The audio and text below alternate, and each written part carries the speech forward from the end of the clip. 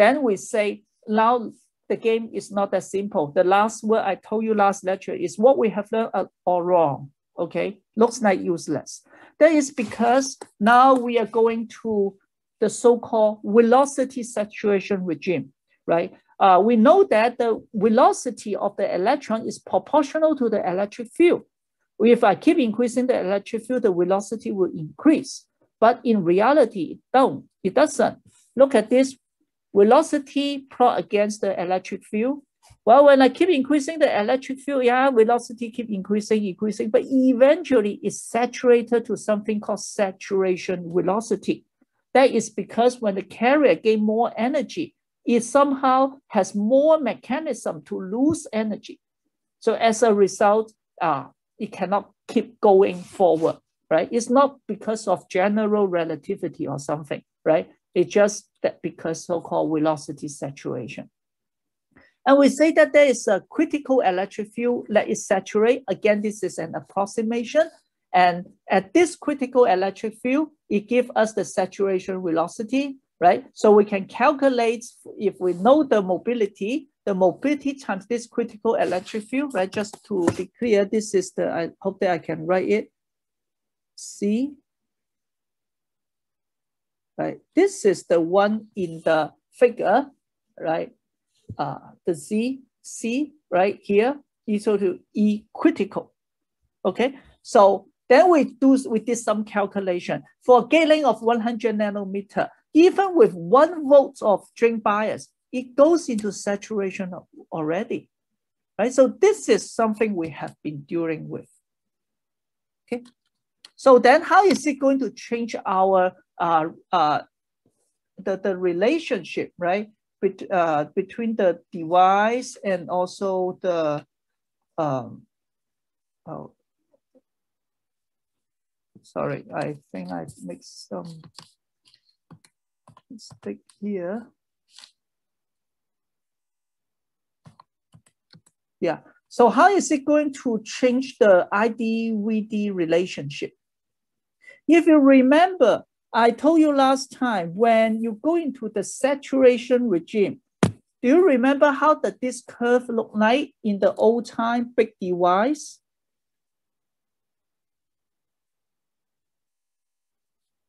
Remember the current is proportional to VGS minus VTH square, correct? this one here. So if it is proportional to that, then I expect that was a quadratic spacing, right? When I keep increasing the threshold voltage, uh, the, the VG, then you will see that like this, right? You will, okay, have this, and then you increase, and then increase even more, and then increase even more, even more, right? This is what I call quadratic spacing, right? But now in the this submicron era, it becomes linear.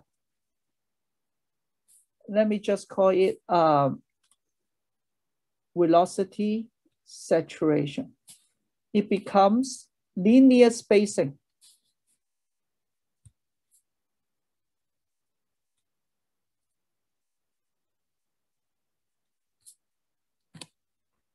Okay.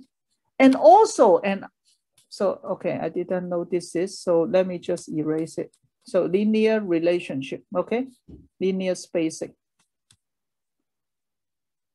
Now, also we get some earlier saturation, okay? In the past, the saturation will be low, will, be later at, at larger VDS. But now even a smaller VDS, it means that at smaller VDS. Okay. And this is what I want to try to show you is this. Okay, so we have two curves. One is long channel, one is short channel, right? The first thing you do, you see that the quadratic spacing I'm talking about, and here is linear spacing on the right. So we have two region, right? This is the linear region, correct? This is also the linear region. But we have two saturation region. This saturation is due to pinch off. While this saturation is due to velocity saturation. Is this okay? We just bring in a new mechanism. We say the carrier cannot go as far as, as, as high speed as we want. Then as a result, we have this uh, velocity saturation. And then the curve will, Sir? yes.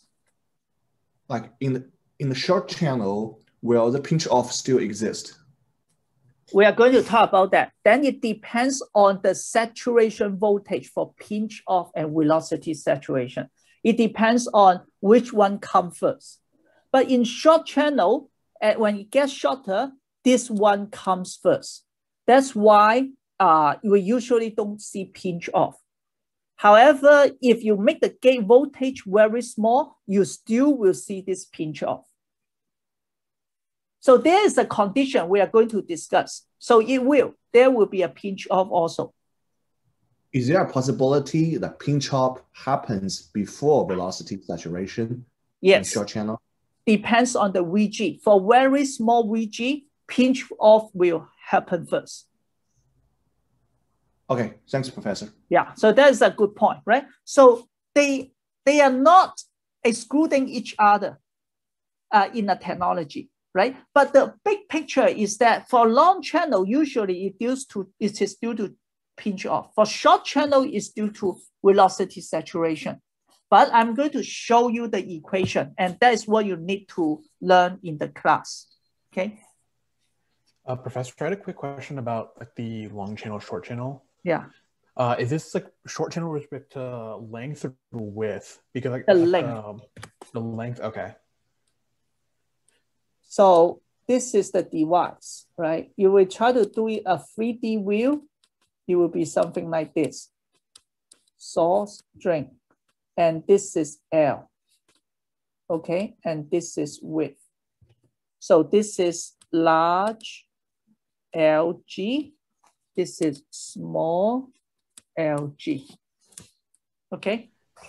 But wouldn't a larger length coincide to a lower current? Okay, no, no, no, no, no. Okay, because we don't know the width. Don't compare the absolute value of the current. Very good. Okay, you are okay. very, uh, very uh, meticulous, very uh, careful, right? The, because they, they, they are not of the same width. Okay, good point. Okay, I just wanted to confirm that. Yeah, very good. Yeah, very good observation, right? So he saw this one is higher, this is smaller but they might not even from the same type of transistor, but very good point, okay? So different width.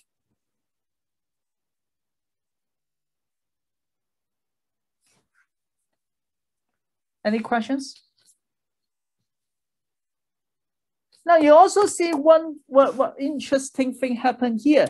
If you have learned about channel length modulation, you also did see this has more channel length modulation, right? CLM, which refer to the fact that the current keep increasing when you increase VDS. And that is because of short channel, the lambda will be larger. Okay, let's have this uh, feeling first, right? And then we try to see uh, more about uh, what's going on. So here, try to, so now Uh, uh, this is also just a, a, cartoon to compare, but you do see that a few things happens, right? For shorter channel, we have something called VD set.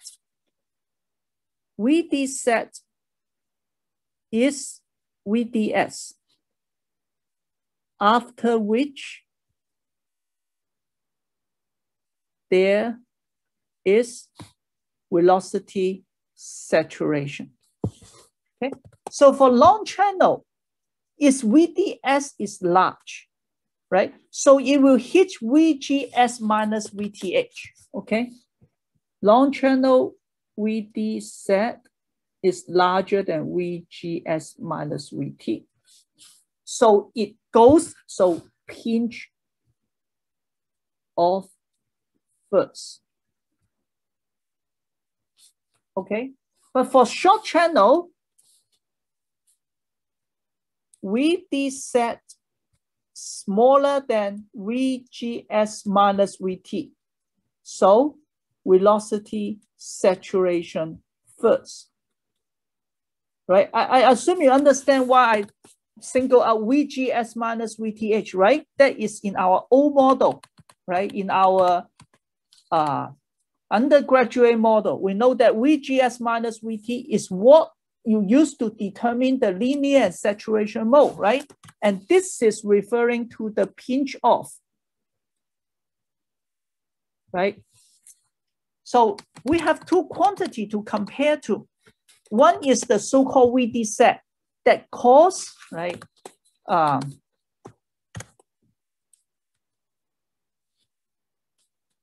velocity saturation. Another is VGS minus VT that cause the pinch off. So it really depends on which one go first. And this is a very complicated device physics. You can look at the textbook, but even the textbook does not have a very deep explanation. And we don't need to do that as a circuit designer. Uh, we just need to understand there are two quantity and exactly the two the question some of you just asked when it will come first and, uh, and how should I deal with this?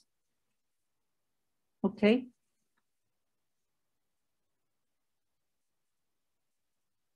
Is that okay? Any questions?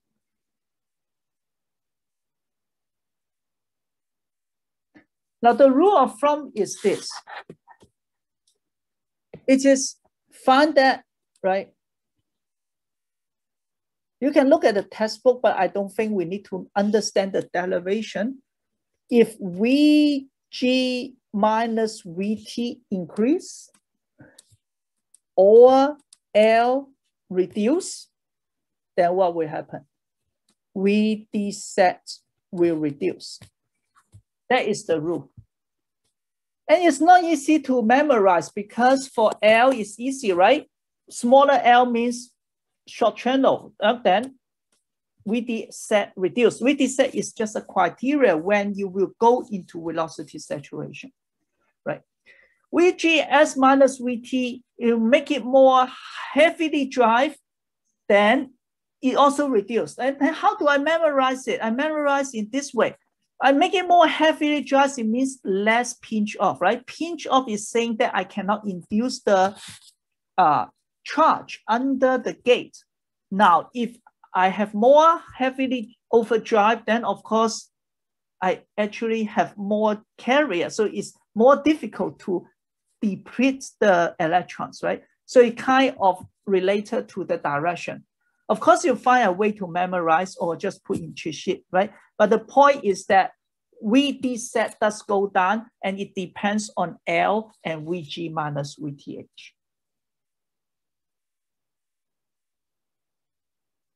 Is this okay?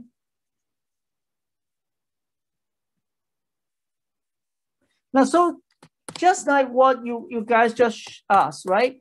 Now, then what happened? You will plot in IDVG right? This is IDVG. Just now what we saw was IDVD.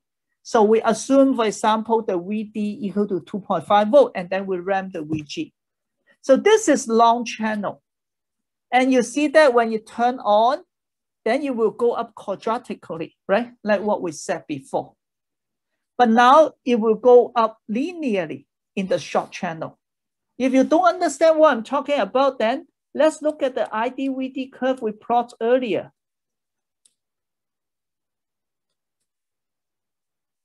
This was the long channel. And I'm talking about the same VD, right? So for example, this is VD, the 2.5 volt. Then what I'm plotting across is this line, right? VG increase, right? So this point may be this point, this point, maybe this point, this point, maybe this point. And that's why you go up quadratically, right? For the linear for the short channel, right? I just told you that it is more linear, equal spacing, right? So if you look at this, for the same VG, uh, for the VG increasing, and they are all at 2.5 volt VD, right? They go up linearly, okay? So there's no problem with this. But interesting thing, which interesting thing is still in this regime is still quadratic. Why? Because VG S minus VT is small.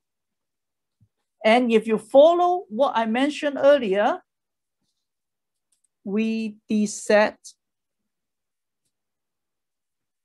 actually will increase. But at the same time, VD, uh, VD, VGS minus VT is small. So I also have VGS minus VT smaller than VD set right? So the pinch off is earlier than, than velocity saturation.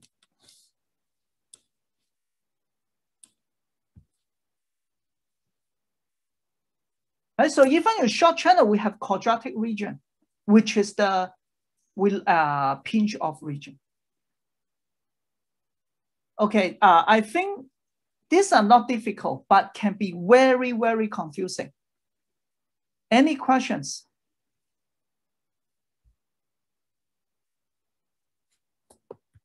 Remember, we have VD set and VG minus VT. It's all the comparison between VGS minus VT. And VD set can change with the channel length. Shorter channel length, smaller VD set. And which one is smaller? Professor, then you will start. Yeah please. Uh, sorry, I just had a quick uh, qu uh, clarifying question. So basically between like the short channel and the long channel, we're trying to identify whether we're seeing pinch off happening first or if we're seeing uh, velocity saturation happening first, right? Mm-hmm. Okay, thank you. Correct. Uh, or on the other hand, right, we, we, we care about for short, uh, for long channel is mostly in the quadratic region, right? In the uh, pinch off region. But for velocity, if you keep go keep increasing VGS minus VT, right? If we don't consider other effect, eventually it will be linear due to velocity uh, saturation. But for short channel, this one occurs earlier. So as a circuit designer, you only see this 2.5 volt. You don't care what is outside, right? But for a short channel, you already see the linear. So as a result, you have what's the uh it has smaller current, right? This time they have the uh current uh, than expected, right? In quadratic. Right? If you had quadratic, you increase the VG, then your current increase uh, quadratically. But now even you increase the VG, VG, the current only increase linearly. Okay.